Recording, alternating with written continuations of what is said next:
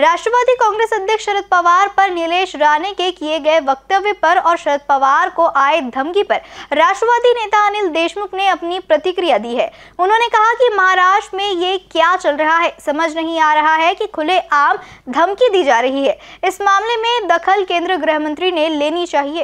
असं आहे की आज राष्ट्रवादी कांग्रेस काँग्रेसचे नेते आणि भारताचे ज्येष्ठ नेते आदरणीय शरद पवार साहेब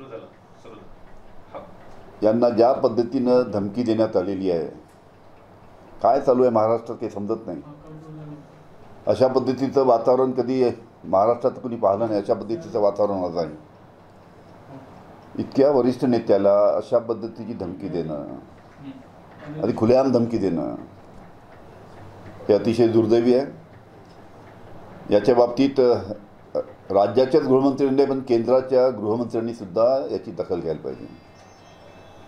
परत दुसरी एक बातमी आली लगेच की संजय राऊत यांना सुद्धा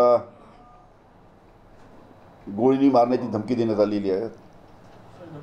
खुलेआम टेलिफोन करून आम्ही गोळीनी त्याला मारून टाकू अशा पद्धतीनं धमकी देण्यात आली. हे मला समजत नाही क कशा पद्धतीचं वातावरण सगळं चालू आहे.